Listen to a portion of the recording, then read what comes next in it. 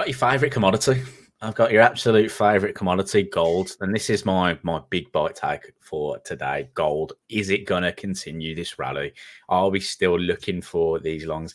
Is it sensible to be long at these kind of areas? And um, there's a couple of different reasons why I feel gold still could make some some upside. Right, the the one kind of idea for it is the the fact that we've got a weaker US dollar, right? The weaker US dollar could help lift these commodities um, a little bit.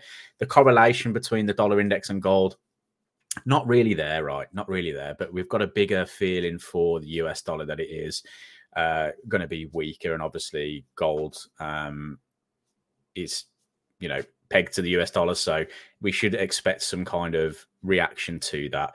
Now, obviously, we've just broken into all time highs here on gold, and this would be a very good area for retail to start coming in now. So this is why I've got two kind of feelings towards this, and why is this a why is this a good area to start looking for for longs, or is it even a good area to look for longs? Now, a couple of things that I wanted to just take a note of.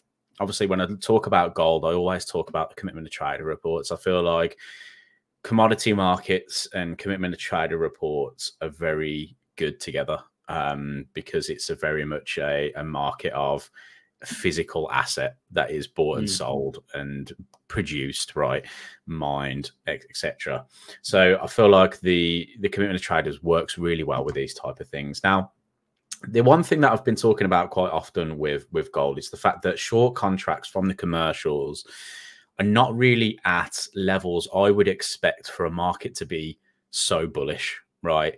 This market is at all time highs, right? It's a, arguably ridiculous levels. Why are the people that are selling this not going sell it all? Just sell it all. They're not doing that right. They're really not doing that, which makes me think that they still feel like gold has a little bit of a way to go before we see any kind of changes in that. Now, one thing or one alert that I am waiting for is for the commitment of traders report to show me when short contracts are up towards these kind of 448,000 contracts, because the last time we were in that sort of position was back here in 2022, March of 2022. Um, I'm pretty sure this was when we had the, um, or it was around the time of the invasion of of Ukraine. I'm not 100% on that on the exact timing of that, but I'm pretty sure it was a similar time in these kind of few months, uh, few weeks here. And um, short contracts on gold went significantly higher, and we saw a move down from sort of two thousand dollars all the way down to sort of around sixteen hundred dollars in this kind of range play.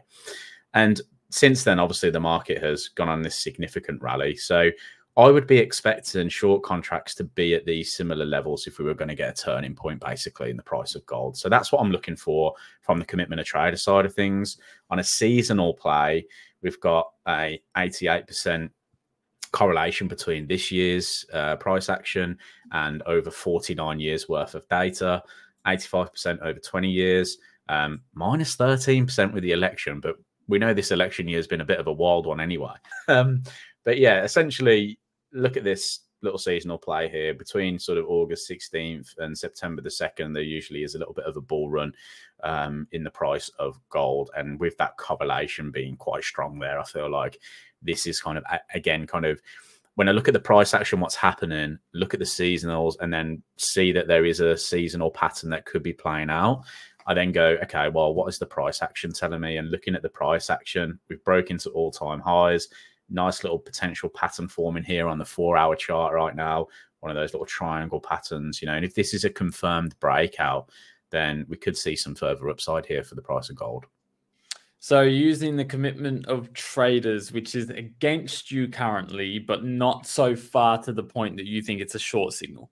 Yeah. Yeah. Essentially, uh, I want the commitment of traders commercials to be showing me that they're shorting at extreme levels and they're right. not doing that right now. They're shorting because, or they're selling because price is higher. That's what they do. They're they're hedges essentially, um, but they're not doing it at levels you would expect if a market was going into all time highs. You would think that they're selling so aggressively that yeah they'd want to take some you know take some money off. They want to maybe recoup even some some you know. So there's not not seeing levels that really interests me in the commitment of traders right now, and that's why I still feel like this market's going to be fairly bullish.